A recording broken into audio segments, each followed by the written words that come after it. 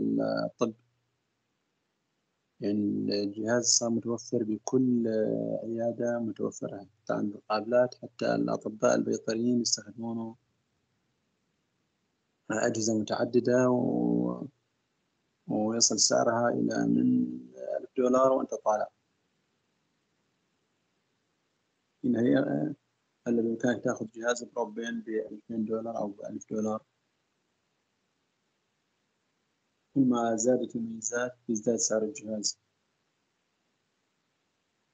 فالأمواج الصوتية أول ما استخدموها هم البحارة خاصة البحارة الأمريكان كانوا بيصدروا أمواج آه، فوق صوتية يعني فوق عتبة السمع عند الإنسان ويرسلونها باتجاه أعماق البحار ويستقبلون الصدى. الموجة بعد ما تصطدم بأي سطح آه، تعطي صدى مثل الصوت. ولذلك سموها الصدى. الأمواج فوق الصوتية. فتعطي آه، الصدى يستقبلون موجة الصدى على مستقبل خاص يعني يقيسون الزمن فيحددون المسافة. اعتمادا على السرعة. فمثل ما درسنا الأمواج فوق الصوتية الأشعة السينية ندرس الأمواج فوق الصوتية وميزاتها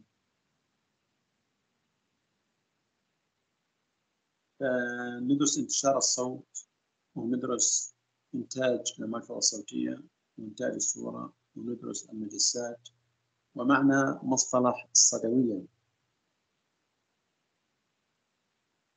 الصوت هو موجة ميكانيكية تنتشر بشكل قولاني عبر وسط مرن. الأمواج الصوتية ألترا ساوند هي أصوات أي موجات صوتية تمتلك طاقة ميكانيكية في الأساس تواترها يفوق مطار السمع البشري مثل ما حكينا نطاق تواتر الأمواج فوق الصوتية التشخيصية من واحد إلى عشرين هرتز. كلما زاد الهرتز كلما قلت المسافة التي يدرسها. فبالبروب اللينير من نستخدم أمواج آه، هرتز عالي 7 12 20 وذلك يدرس small part الأمواج فيدرس البنى السطحية. وكلما زاد قل الهرتز بيزداد العمق. نشوف ال convex اثنين أو خمسة ميجا هرتز يعني تواتر المنفصلين الميجا هرتز هو يعني عشرة فاصلة ستة هرتز انتشار الصوت. ويندرج تحته مجموعة من الخاصيات الانعكاس والانكسار. عندما يطلق موجات صوتية أو فوق صوتية وتصادف حدا بين وسطين كثافتهما مختلفة. يرتد جزء من الأمواج الصوتية عن السطح البين الفاصل بين الوسطين من الوراء باتجاه المصدر كصدى إيكو وتسمى هذه الظاهرة انعكاس الصوت وباقي الموجات الصوتية يستمر بالانتشار عبر الوسط الثاني ولكنه ينحرف عن مساره وتسمى هذه الظاهرة انكسار الصوت. إذا الأمواج الصوتية عندما يكون هناك فرق أو فرق بين ماهية الوسطين. قسم ينعكس وقسم يستمر ولكنه يغير اتجاهه فيسمى انكسار الصوت. وقد تصل الموجة المنكسرة إلى سطح بيني آخر وتنكسر مرة ثانية. المعاوقة. Impedance. المعاوقة الصوتية هي قياس المقاومة التي يلقاها انتشار الأمواج الصوتية وهي تحدد كل من انعكاس الانتشار إذا هي قياس المقاومة التي يلقاها انتشار الصوت. أكثر ما يعبر عن المعاوقة هو كثافة الوسط الذي تنتشر فيه الأمواج. معاوقة الهواء أو الغاز تختلف عن معاوقة الماء أو السائل مثل ما شفنا اختراق الأشعة السينية للغازات يكون قوي جدا واختراقه للعظام يكون ضعيف جدا والإنسان الذي يكون شبه معدوم كمان هنا الأمواج فوق الصوتية تختلف المعاوقة وانتشارها من وسط لآخر عندما يكون هناك فرق كبير في المعاوقة الصوتية بين وسطين متجاورين فإن جزء كبير من الموجة الصوتية سينعكس عن السطح الفاصل بين وسطين. امتصاص الأمواج فوق الصوتية الامتصاص خاصية غير مفيدة وتؤثر سلبا على التصوير. عندما تنتشر الموجة الصوتية عبر المادة يتم تحويل جزء من طاقتها الميكانيكية إلى حرارة؟ هذا الضياع في الطاقة يسمى امتصاص وتحدده مع وقت الوسط الامتصاص يعني أكثر شيء نشوفه بالعظام نستفيد منها في دراسة كسور العظام خاصة كسور الأضلاع. يعني صراحة درسنا من ندرس الأعضاء اللي فيها ماء فينصدق من إيكو مثل الرنين الأعضاء الفقيرة بالماء تعتبر عدوة للأموال فوق الصوتية مثل الغاز وذلك ما بنحسن ندرس الغاز بالأموال فوق الصوتية. لأن في معاوقة عالية وفي تشتت بينما في العظم العكس في امتصاص زائد. وذلك خاصية غير مفيدة. التشتت وهي أيضا خاصية غير مفيدة في التصوير يعتمد على خواص الوسط. الذي تنتشر فيه الموضع عندما تصادف الأمواج فوق الصوتية وسطا غير متجانس أو سطحا خشن في جزء صغير منها منطقتها يتشتت بعيدا عن الموضع في اتجاهات مختلفة بينما يتبع الجزء الأكبر منها المواد الصوتية بالانتشار إذا التشتت هو انكسار بزوايا مختلفة في وسط واحد على خلاف الانكسار الذي يكون فيه بين وسطين حصين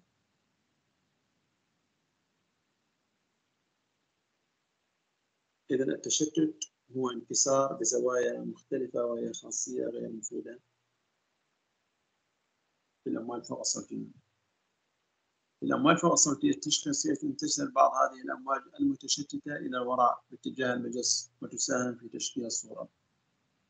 الإنتاج الصورة يعتمد على الأمواج المنعكسة المجس أو البروب يعطي أمواج فوق الصوتية هو نفسه بيستقبل الأمواج فوق الصوتية في الأمواج المرتدة على البلورة هي اللي تساهم في تشكيل الصورة. إنتاج الصورة ينتج عن مبدأ النبضة والصدى العنصر الأساسي في الإيكو هو البلورة كهربائية أو مربات أو بلورات الكريستال الموجودة في ال probe. فالبلورة الكهربائية هي الوحدة الوظيفية الأصغر في مجس الأمواج الصوتية والجزء الأهم في الإيكو وذلك الإيكو أهم شيء هو ال probe اللي هو بلورة كريستالية كهربائية تعطي نبضة من الأمواج الصوتية وتستقبل الصدى تبعها. والفرق بين الصدى وانعكاسه يحدد لنا العمق.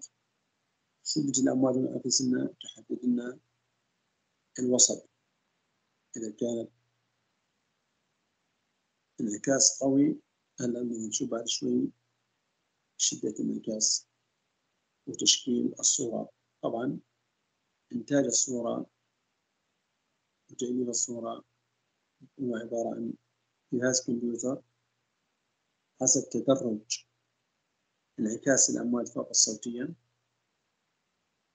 يحدد لنا المسافة وكثافة الأمواج فوق الصوتية.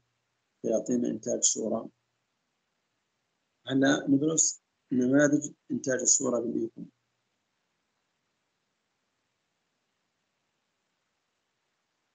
هذه البلورة لها خاصية تحويل الذبذبات الكهربائية إلى اهتزازات ميكانيكية.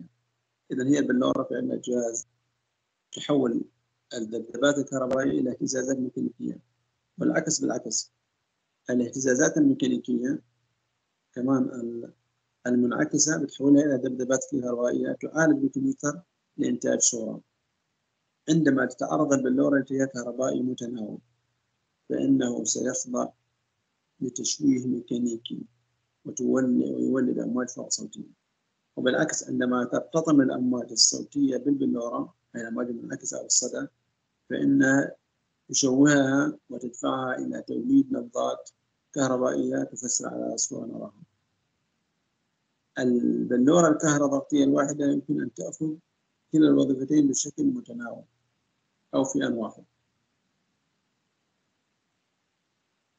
أولا يتم تعريض البلورة الكهربائية إذا اختصرنا الخطوات لازم نفهمها. البلورة الكهربائية أو ال probe أو الكريستال يتعرض لتيار متناوب يؤدي إلى اهتزازها ويؤدي إلى إرسال نبضة من الأمواج فوق الصوتية بعد ذلك مباشرة أو نفس الوقت مثل الأجهزة الحالية ال real time يستقبل الأمواج المنعكسة. من السطح البيني يعني هي فرق يعني الوزن الذري أو كثافة أو ماهية الوسطين هو يعطينا إنتاج الصورة.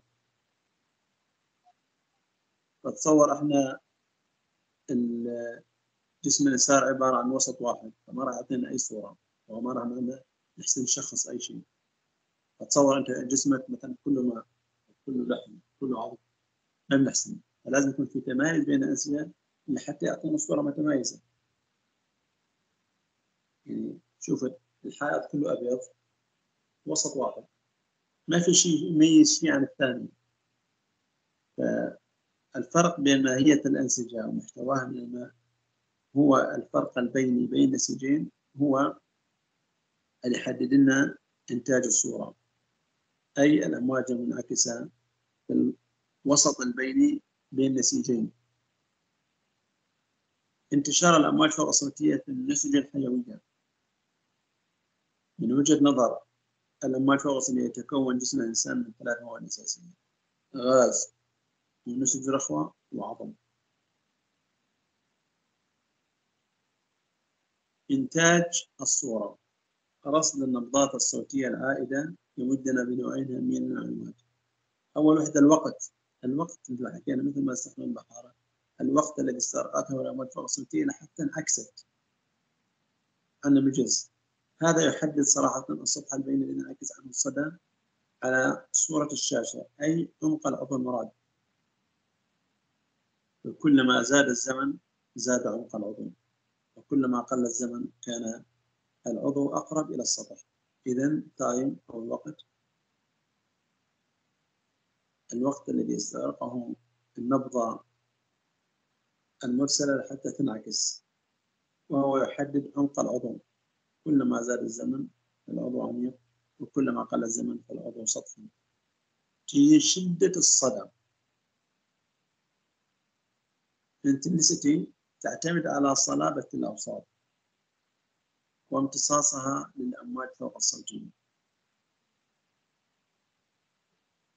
فعندما نصدر نبضة تعود النبضة بزمن قصير يعني لأنها انعكست على البنية قريبا. بينما عودة النبضة وقوتها يشد الأمواج الصوتية اللي انعكست عنها هذه يميز بشدة الصوت.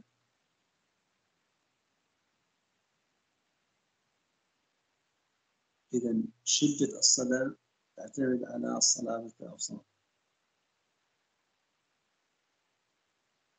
ويفسر باللون الأبيض كلما زادت شدة الموجة المنعكسة عندما نصدر النبضة الصوتية بشدة معينة وتعود بنفس الشدة أي أن الصلبية عالية المقاومة. عظم أو جسم أجنبي وذلك لأن الصوتية ما تخترقها وإنما تنعكس من وضعها وتفسر تعطينا لون أبيض. أما إذا نقصت الشدة فإن الأمواج الصوتية المنعكسة تكون قليلة أو شدة الصوت النبضة قليلة وذلك تستمر الأمواج بالاختراق والتأكسين تعطينا اللون وتعطينا معاوقة منخفضة تعطينا اللون الأسود. إذا كلما كانت المقاومة عالية أي أن الموجات أي أن شدة الصدى تقريبا مشابهة للصدى أو النبض المرسل. فهنا يعطينا لون أبيض. كلما كانت النسج منخفضة المقاومة أي المفاصل تخترق وذلك تعطينا لون أسود وذلك بالماء يكون عديم الصدى يعطينا أسود بينما العظم أو الحصيات أو الأجسام الدموية أو حتى الغاز يعطينا اللون الأبيض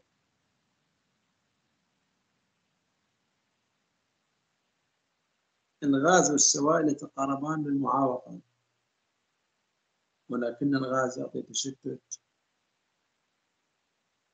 وأرتبك وتشويش بينما السوائل تعطينا وسط متجانس لا يشتت الأمواج في وسطه هي الأي مود أول ما اخترقهم صراحة آه، تقريبا غير مستخدم عندنا. الاي مود حاليا الاي مود والاسكان الاي مود نفس فوق الصوتية فترتد الامواج فوق الصوتية شايفين ارتفاع النبضة هو يعبر عن شدة الصوت بينما بعد بين النبضتين هو يعبر عن الزمن. إذا الزمن على محور أفقي وشدة الصوت على بتقدم الزمن تظهر على المخطط صمامات المناطق السطحية. بتقدم الزمن العلماء هيك بداية إنتاج الصورة كان بهذا الشكل.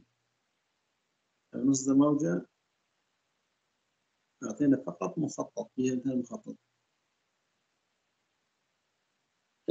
تقدم الأجهزة على مخطط سمات المناطق السطحية والمناطق العميقة. اعتمادا على الشدة كلما زادت الشدة يعطينا مثل ما دروج لوني. كلما زادت الشدة يعطينا لون أبيض كلما انخفضت الشدة يعطينا لون أسود.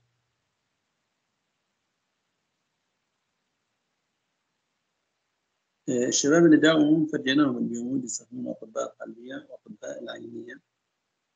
البيوم الأطباء القلبية من شان قياس السمكات. وأطباء العينية من شان قياس القطر الأمامي الخلفي.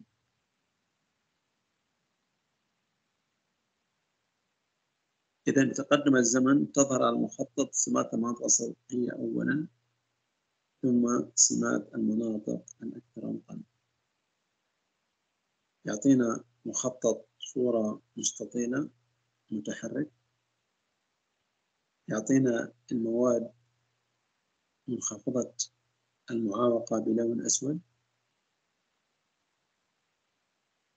والمناطق عالية المقاومة بلون أبيض وتظهر عندنا العدسة العين بلون أبيض.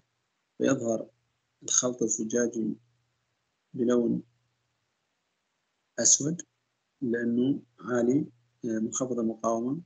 وكمان بالقلب الحجر بين الأجواف تظهر بلون آه، أسود لأنها تحوي على الدم السائل منخفض المقاومة بينما جدر الصمامات وجدر القلب عالية المقاومة وهذه تظهر بلون أبيض أو محمر حسب محتواها من الماء. البي يرمز إلى brightness وتعني السطوح. وفي هذا النمط يتم عرض الأصداء العائدة مع معلومات الزمن والشدة. إذا يتم عرض الأصداء المنعكسة مع معلومات الزمن والشدة؟ الزمن مشان يعطينا العمق والشدة مشان يعطينا البياض والسواد. كتدرج من تدرجات اللون الرمادي. بدلا من حركات الخط قاعدي مثل الإيمود اللي حاليا أصبح من تاريخ الطب مش من الأجهزة النهائية. حتى ال B mode استخدامه يعني قليل جدا وقلل من الأطباء اللي تعودوا على هذا النمط في آه، تعودوا على أيام التسعينيات يشتغلون على هذا ال B mode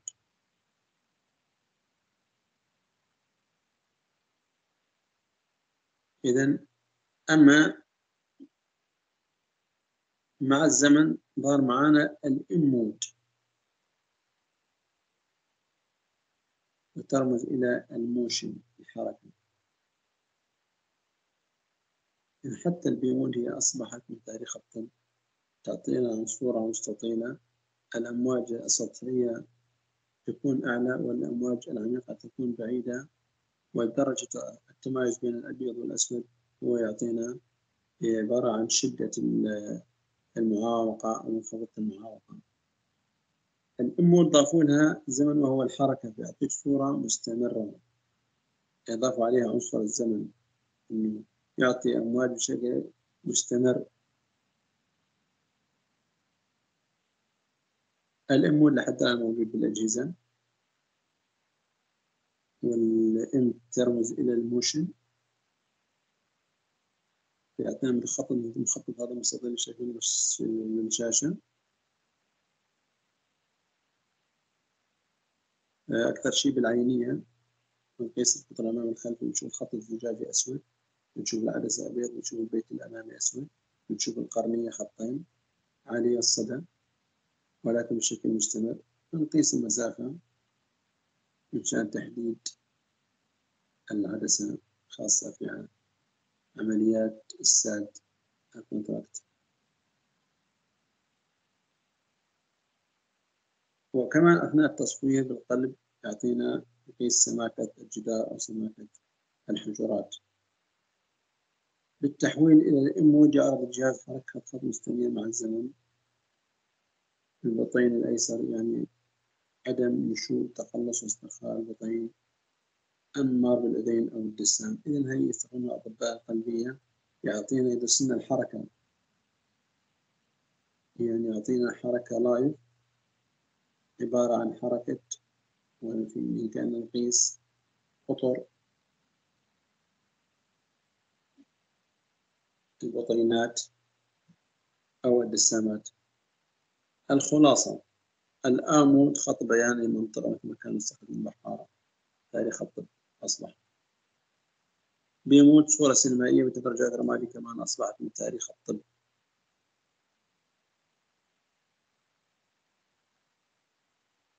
الإمود خط واحد بدل من الإمود يتحرك مع الزمن.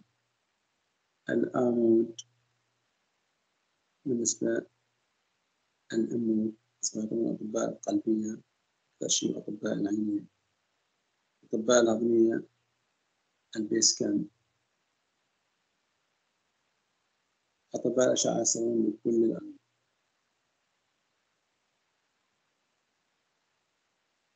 إذا أردنا ندرس الآمود مثل هاي البرو وهي القلب. فأعطانا مخطط. شايفين الأوساط مثل الأجواف منخفضة المقاومة تعطينا خط مقاومة شدة مقاومة الأعمال الجسدية قليلة منعكسة بينما مثل الحجر أو الحجاب بين البطينين.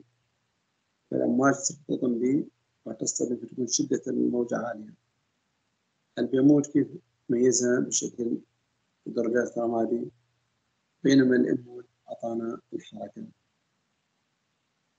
بإمكاننا نقيس قطر الأجواف أثناء تقلص القلب أو استرخاء شايفين هي صورة للأمة الفرزية نجي على المدسات أول البروبات لأن المستخدمة حاليا ال probe ال convex أو ال probe العميق. تصطف البروبات بشكل مروحة. الهرتز من 2 إلى 5 يدرس البنى العميقة وهو المجسم الأكثر استخداما لا يمكن الاستغناء عنه يدرس البطن يدرس الكبد الكليتين الطحال حتى نقدر ندرس الأموال الدماغ ممكن ندرس كيف يعبر عليك مقام المجسم الخطي أو اللينير يعرف السطح مثل ما شايفين. السطح بشكل مستقيم يعطي صورة مستطيلة التواتر من 5 إلى 12 هرتز ممكن يوصل ل 20 هرتز أو يسمونه مترو لينير يدرس البنى السطحية من 5 إلى 7 سنتي أو يدرس small part أوعية العنق الدرق الخصية الزايدة الغدة اللعابية النفق الرسغي الأوتار آفات الجلد. ندرس العين المجسم القطاعي أو ال sector أو micro convex يملك رأسا صغيرا يتناسب نافذة يدخل بين الأضلاع بالنسبة للأطباء القلبية يعطي صورة مروحية. تكون الصورة ضيقة في المجال القريب وواسعة بالمجال البعيد التواتر من أربعة إلى واحد إلى أربعة. أكثر استخدام القلب الرئتين الجنب المنصب. طبعا القطاعي أو السكتور أو الميكرو الإبرة الثاني هو الترانس فاجينال تمام قريب على السكتور. آه، آه، ندرس ترانس فاجينا أو ترانسليكتوم أو ممكن نعمل خزع البركة نعمل خزع البروستات يتركب عليه آه، مثبت بطريقة معينة.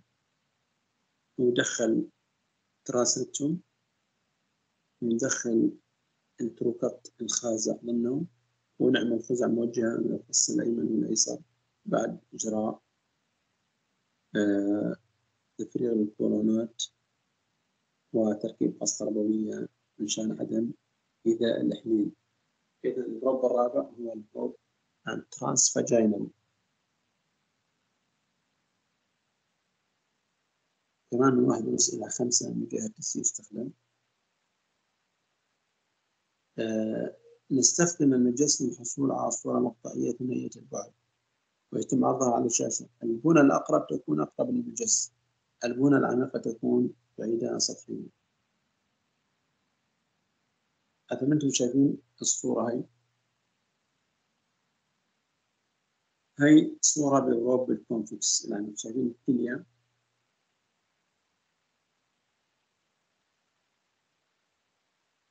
شايفين الكلية والكبد تقريبا الصدوية الكلية أنقص شوي. الخط الأبيض بين الكلية والكبد هو جيب موريسون في حالات حوادث يصير أسود. دليل وجود نزف أو سائل. البنى السطحية تكون أقرب للبروب اللي هو الخط المثلي فوق بينما تحته البنى العميق. شايفين هنا الغدة الدرقية بال probe ال linear شايفين في عقدة درقية بالفص الأيسر هذا الفص الأيمن كمان فيه عقدة درقية يعطينا صورة مستطيلة هنا ال sector شايفين يعطينا أجواف القلب.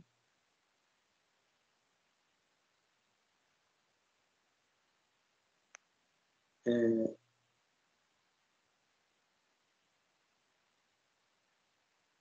بالنسبة للمقاطع شباب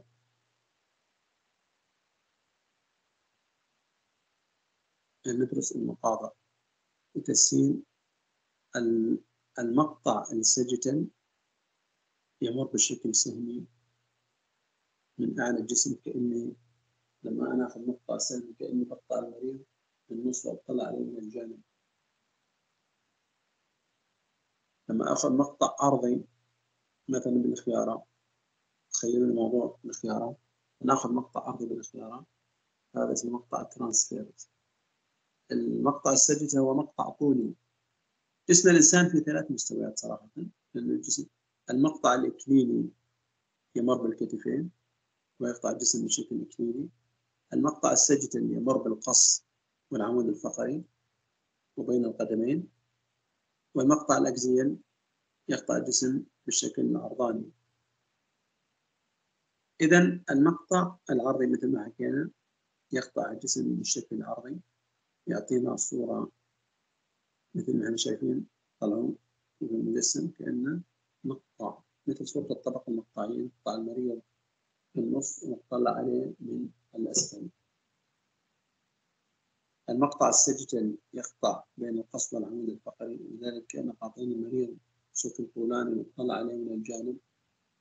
ال coronal كأن قاطعين المريض بين الكتفين ونطلع عليه من الأمام أو الخلف. واضح موضوع المقطع الإكليلي والسهمي coronal sagittal transverse. مهم نفهمه بالأشعة ما يميز الأمواج فوق بإمكاننا ناخذ مئات المقاطع. يعني إحنا ناخذ angulation من اليمين ومن اليسار للأمام ومن الخلف آه للأعلى وللأسفل مئات المقاطع. لأن عندنا probe نحن نتحكم بأخذ المقاطع. عكس الطبقي فالطبقة ما كثير بده ونحن مجبرين نأخذ بها المقاطع وتدرجاتها سجل يمشي من اليمين لليسار. ترانسفير من الأعلى للأسفل كورنر من الأمام للخلف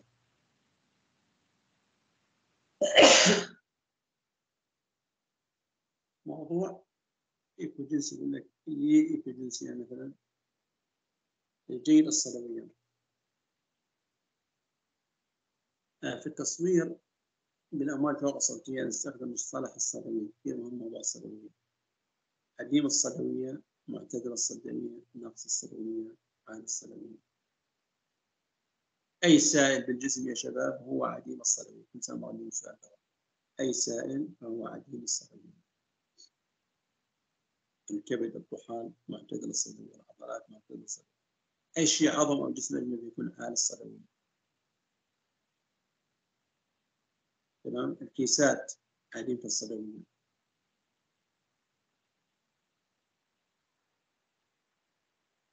أما سائل عكر خراج قيحين اعتبره ناقص صدوي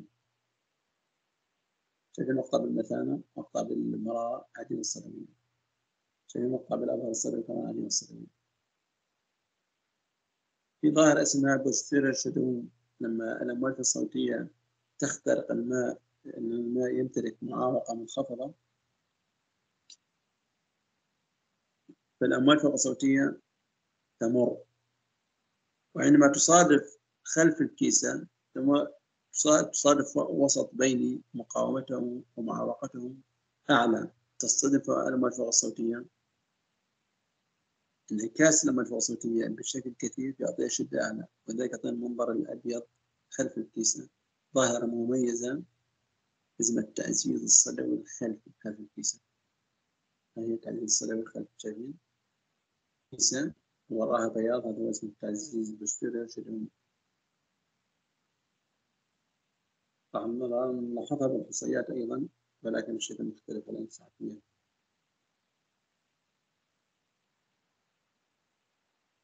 إذا بالنسبة للكيسات تعطينا تعزيز الصدوي بينما الأورام الرعائية ما يعطينا تعزيز الصدوي.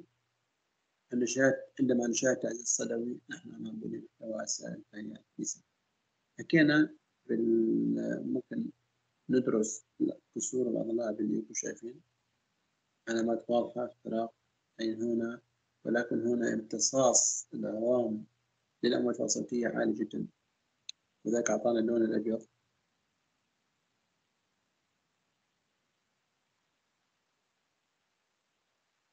الكسر أعطانا منطقة عديمة الصدى أو ناقصة الصدى ومن بنية عالية مستمرة. شايفين كمان ظاهرة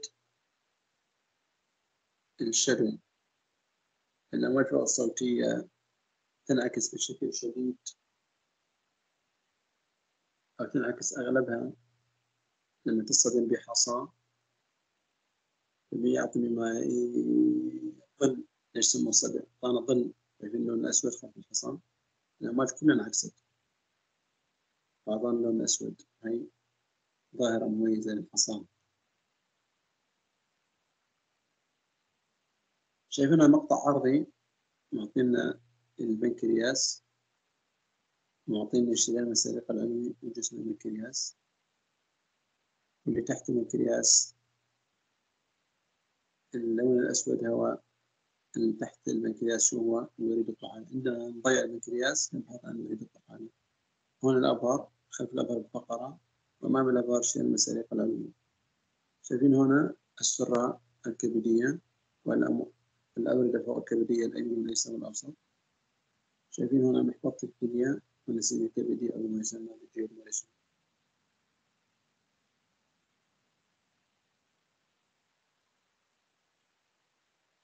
السطوح العاكسة تشمل المحفظة والأغلفة واللفافات شايفين أي نسيج فقير بالماء أو يحمل نسيج ليفي يعطينا لون أبيض شايفين محفظات الكبد خط الكلية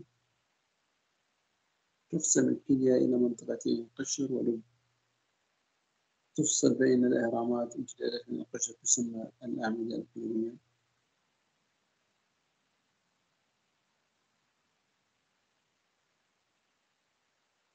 فما يسمى إهرامات مالبيكي واللب الكلوي يعني يسمى يعني شايفين منظر الكلية عبارة عن قشر ولب لكن القشر صراحة بالعمل الصوتي ما كان يميزه نعتبر كلها سمك رأسي ولكن من الطبقة المحورية مع الحقن ولكن يسمى اللون الأبيض بالجيب الكلوي وهو لا يمثل اللب.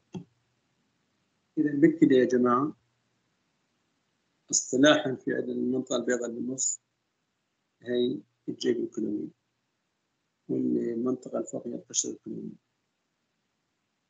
ولكن الجيب الكلوي لا يمثل اللب. والمنطقة القشرية لا تمثل لأن بيانات إهرامات مالبيكي وتبين أفضل شيء بالطبقة المحورية. تظهر بشكل واضح.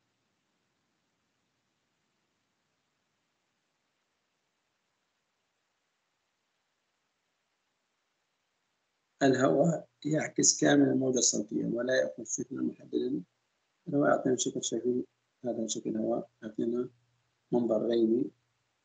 لأنه يعمل تشتيت للأمواج الصوتية بينهم كيف كيف شوف كيف يطلع الوسط متجانس غني بالماء عكس الهواء وسط متحرك فقير بالماء أو عديم الماء وذلك دائما الغاز ندرس الصدر بالإيكو ممكن ندرس البناء المحيطية أو الانصباب أو عن ندرس القلب عن طريق الأوراق.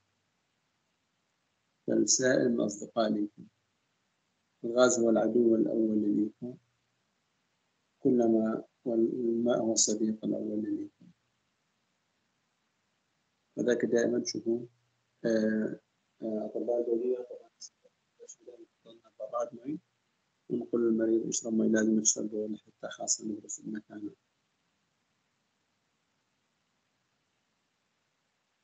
الدوبلر مود المود الرابع هو دوبلر.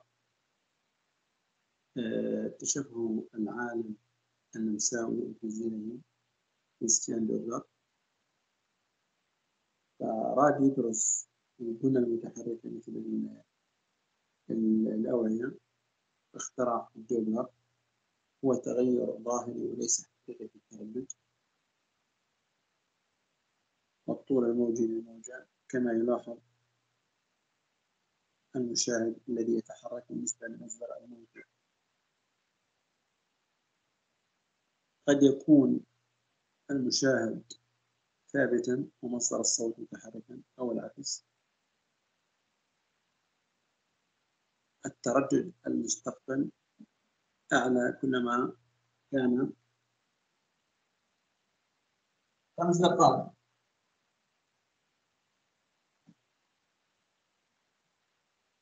إذا ظاهرة الدوبلر يدرس البنى المتحركة وخاصة الدم وجريان الدم في الأوعية وظاهرة الامتداد الموجي وهو تغير ظاهري وليس حقيقي في التردد والطول الموجي التردد المستقبل أعلى كلما اقتربت من المصدر وأخبط كلما ابتعدنا عن المصدر.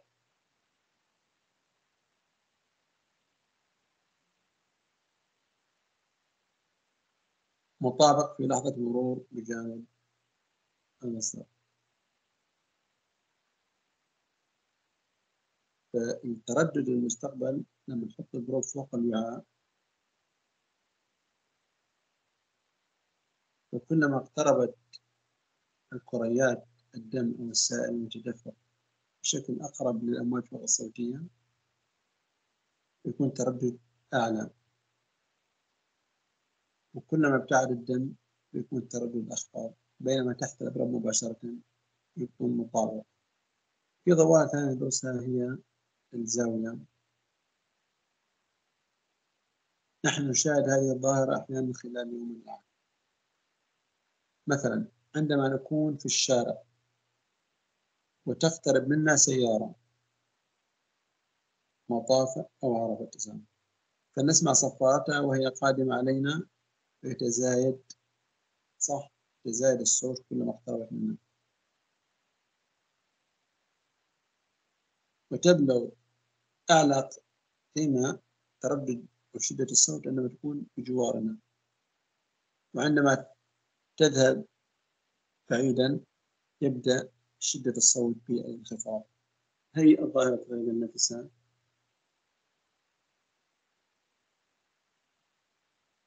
وكلما الأجزاء الدم المتدفق بشكل أقرب تردده أعلى والدم المبتعد بعيدا عن مصدر الأمواج الصوتية يكون تردده أقل ومطابق في اللحظة خلف البرد كذلك الأمواجات الصوتية التي ترتد من الدم تغير أيضا.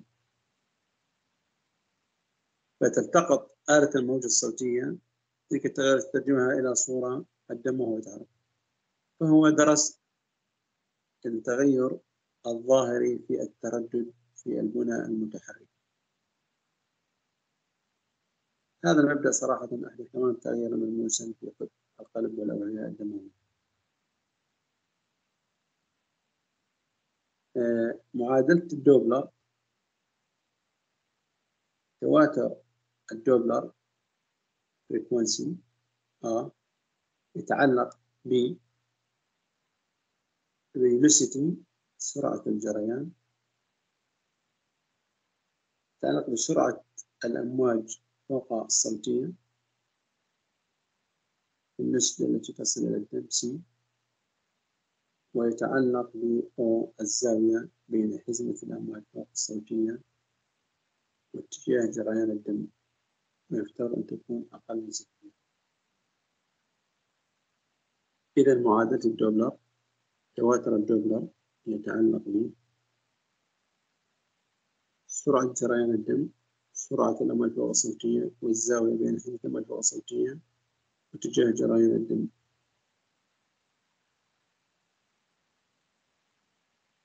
اللون المفسر يفحص الجريان في موقع واحد يتشابه مع الآمود يعطي تحليل مفصل يتوزع الجريان بشكل خط بياني يستطيع فحص نمط الموجة بالنسبة للون إذا كانت الأمواج فوق الصوتية معاكسة إذا كانت الأمواج فوق الصوتية معاكسة اتجاه الجريان يعطينا اللون الأحمر. وإذا كانت مع اتجاه الجريان يعطينا اللون الأزرق. إذا اللون الأحمر حسب اتجاه الأمواج فوق الصوتية. إذا حطينا اتجاه الأمواج الصوتية معاكس لاتجاه اليد. يكون معاكسة يعطينا الشريان لون أحمر والوريد لون أزرق. إذا حطينا اتجاه زاوية الأمواج فوق الصوتية مثلا مع اتجاه اليد باتجاه الأصابع فراح يعطينا الشريان بلون أزرق والوريد بلون أحمر. إذا إذا كانت الأمواج فوق الصوتية معاكسة اتجاه الجريان يعطينا اللون الأحمر. أما إذا كانت مع اتجاه الجريان الدموي يعطينا اللون الأزرق. وما العلاقة أنه هذا الشريان أو وريد العلاقة هي اتجاهها عكس أو مع المخطط النبضي يعطينا مخطط انقباض القلب ديسكولي ويعطينا نبضة انبساط القلب ويعطينا الشرايين المحيطية الموجة الثالثة من نقول ثلاث الطول هي تعبر عن مرونة الشريان ما لها علاقة بضربات القلب ثلاث ثلاث الطول بالنسبة للأعضاء النبيلة آه، تكون آه، مشعر مقام يكون منخفض فالدم مستمر حتى أثناء الانبساط في الشرايين الكلوية والشرايين السباتية. إذا بالأعضاء النبيلة الشرايين السباتية خاصة الشريان السباتي الباطن فحكمة ربانية يستمر تدفق الدم حتى أثناء الانبساط. وذلك نسميه منخفض المقاومة. شايفين حتى مرحلة الانبساط مستمر بين الشرايين المحيطية هاي الموجة الثالثة اللي حكينا عنها تعبر عن موجة مرونة الشريان الدوبلر الطاقي الوريد السري كمان يعطينا شايفين المخطط الوريدي يعطينا مخطط أحادي الطور مستقيم منخفض السرعة بينما الشريان ثلاثي الطور. الدوبلر اللوني أو ال color يعتمد على لون واحد. يدرس لا عفوا هنا قبل الطاقي الدوبلر الطيفي حكينا الدوبلر اللوني يعطينا خريطة حسب اتجاه الجريان حكينا عنها شايفين؟ شايفين؟ مراحل التغير. الدوبلر الطاقي يعطينا لون واحد غالبا هو لون برتقالي. ما يميز لنا اتجاه الجريان ولكنه يدرس الأعضاء اللي يمر فيها الدم بشكل بطيء مثل دوال الخصية أو الأوردة. يعطونا لون واحد ولا نستطيع أن نميز اتجاه الجرائم يعطونا لون واحد. فندرس الأعضاء لما يكون المخطط سرعة الجرائم منخفضة فيها. هنا محاضرة كثير مهمة. محاضرة شيقة إن شاء الله تعالى موعدنا الأسبوع القادم في جلسة عمل جلستين عملي بشكل فيزيائي بإذن الله تعالى. يعطيكم العافية. أي حد عنده سؤال يا شباب يتفضل